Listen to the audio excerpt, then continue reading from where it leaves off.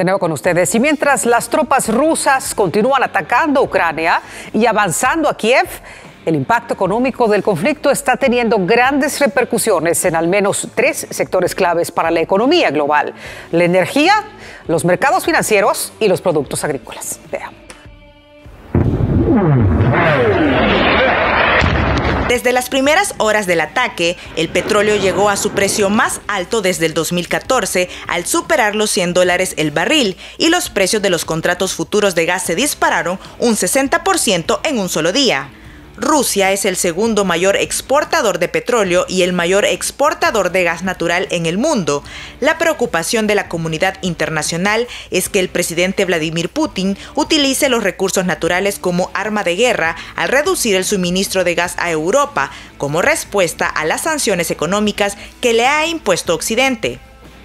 Otro factor que preocupa es la inestabilidad de los mercados y las divisas. Tras conocerse los primeros ataques de las fuerzas rusas hacia Ucrania, los mercados comenzaron a tambalear.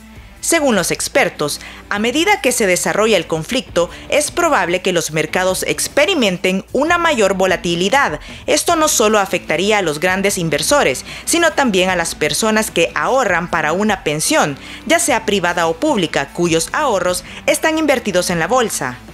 En América Latina se produjo una depreciación de las monedas locales frente al dólar, con el peso chileno liderando las pérdidas mientras que los precios en los mercados de trigo y maíz también experimentaron movimientos apenas comenzó el ataque ruso a Ucrania. Rusia y Ucrania han sido consideradas el granero de Europa al exportar la quinta parte de maíz y la cuarta parte de la producción global de trigo, así como el 80% del aceite de girasol. De ahí la preocupación de que aumente aún más el costo de los alimentos a nivel global. Todas las escuelas serán inspeccionadas y resueltas sus necesidades. Esa es la indicación del gobierno de la República que ha puesto en marcha un millonario proyecto de reparación de la infraestructura. Y en esta ocasión entregaron materiales de construcción en Ayutuxtepec. Este es el centro escolar El Retiro y no solo fue visitado por las altas autoridades del gobierno, sino que también ya recibió los materiales de construcción que servirán para la reparación de su infraestructura. Techos, áreas comunes, sanitarios y otros lugares recibirán atención. Igual los techos que ya la comisionada presidencial Carolina Recinos acompañó al ministro interino de Educación y al secretario de Innovación de la presidencia, quienes junto a los docentes del centro recorrieron las instalaciones e hicieron el análisis de las obras que se necesitan. Ahora vamos a empezar, pero esta escuela, cuando la vengamos a, a ver dentro de algún tiempo, cuando termine todo el proceso de remodelación, no la van a conocer Vamos, estamos evaluando, vamos a iniciar junto con la directora, evaluar a ver si podemos hacer aquí en este centro educativo bachillerato, porque me cuenta la directora, nos cuenta la directora que no hay bachillerato y que los niños que salen de noveno tienen que ver a dónde van, Vea, la, la escuela que les queda más cerca está como a 6 kilómetros, pero ahí ya no hay cupo, porque esa escuela tiene los cupos de los niños que se gradúan ahí.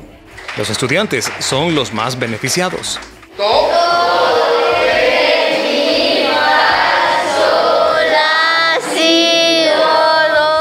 Los docentes se sienten motivados. Así lo considera el profesor Adalberto Cepeda, quien fue parte del equipo que solicitó los cambios en la infraestructura. De hecho, estos materiales de construcción también se utilizarán para edificar cuatro aulas nuevas para parvularia. Bajo la circunstancia que se nos presenta en esta oportunidad, todos los maestros están muy motivados y yo como encargado de coordinación de proyectos de esta escuela, estoy también más, más mm, motivado, emocionado.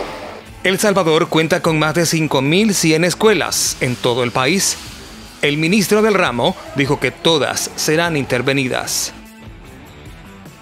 La primera dama de la República, Gabriela de Bukele, participó en el seminario Fortalecimiento de las Políticas y Acciones en Salud Neonatal, donde expuso las principales acciones que se ejecutan en nuestro país en atención a la primera infancia. Este evento fue realizado por la Organización Panamericana de la Salud, que busca alcanzar una reducción para el 2030 en la tasa de mortalidad neonatal. Veamos.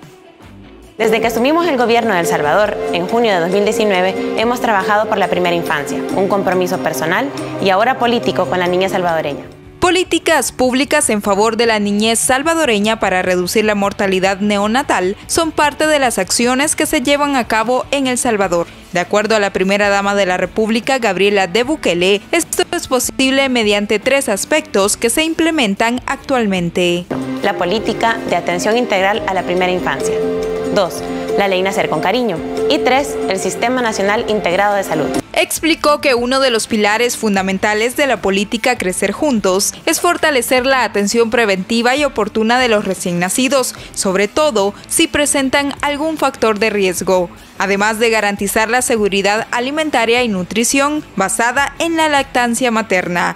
Así, se han logrado significativos avances hasta la fecha, por ejemplo, contar con tres bancos de leche materna y 55 centros recolectores. De 2020 a 2021 se redujo 8.6% el número de recién nacidos prematuros y a 10% el número de bebés con bajo peso al nacer. El número de mamás donadoras se ha mantenido a cerca de 5.000 por año y superamos la donación de 2.100 litros de leche materna. Para lograr estos resultados incorporamos la modalidad domiciliar de donación. En cuanto a la ley Nacer con Cariño, informó que en nuestro país ocurren 75 mil nacimientos anuales. Todos ahora se regirán por un parto humanizado y respetado que garantice el bienestar de la mamá, su familia y por supuesto del bebé. Recibirá un cuidado cariñoso y sensible. Tendrá alojamiento junto a su madre. No será separado de ella desde su nacimiento, salvo condiciones médicas necesarias para salvaguardar su vida recibirá su identificación inequívoca a través de la entrega inmediata de su certificado de nacimiento o de defunción. Recibirá la lactancia materna durante la primera hora de vida. Finalizó su participación recordando que si queremos cambios como país, se debe iniciar por el principio, es decir, la primera infancia. Por eso, en El Salvador cada niño cuenta y toda niña importa. Y precisamente entre las principales transformaciones que se han hecho para ejecutar la ley Nacel con Cariño está la modernización y la adecuación de los establecimientos de salud que permitirán brindar el cuidado necesario a las madres y al recién nacido en toda la red pública de salud del país.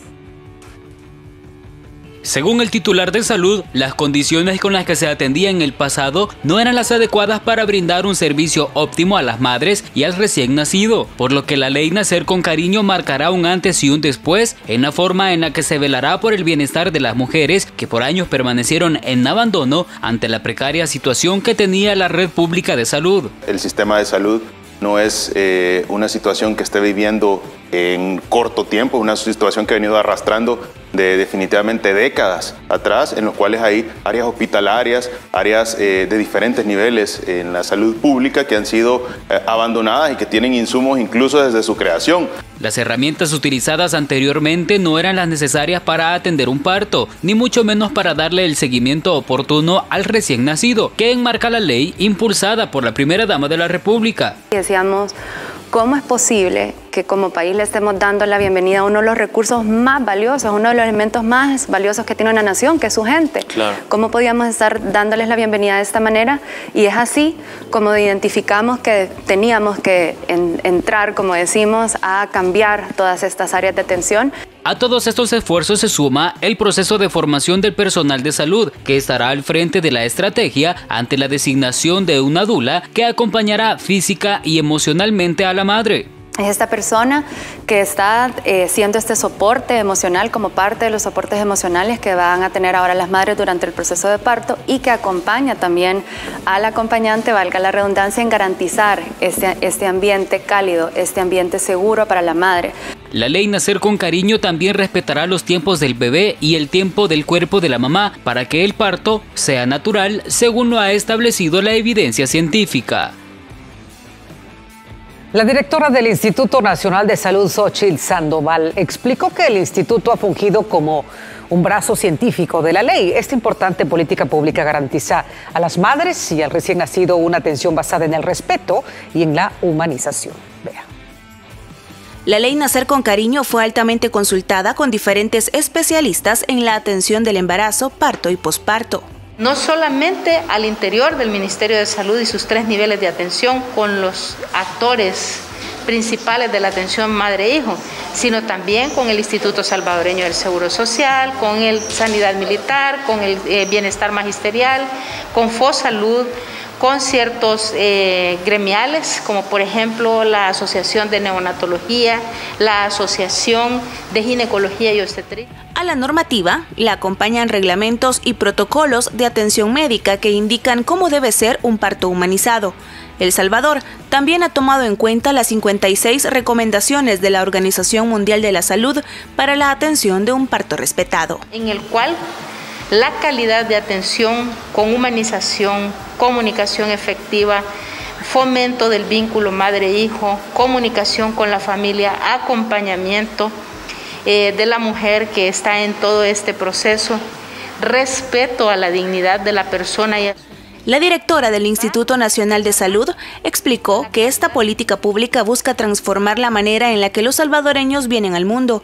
Esto incluye la transformación de la infraestructura y capacitación. En cuanto a equipamiento, reordenamiento, organización, ambientación y principalmente pasa por educación en nuevos conceptos para los equipos de salud. ¿En qué? En educación prenatal, lactancia materna, apego precoz, comunicación efectiva. La ley garantiza que se respeten los derechos de las mamás y sus bebés y está fundamentada en evidencia científica, recalcó la titular del Instituto Nacional de Salud, Xochitl Sandoval. Dale like, comparte, sígueme o suscríbete para más contenido solo aquí en la Minuta SB.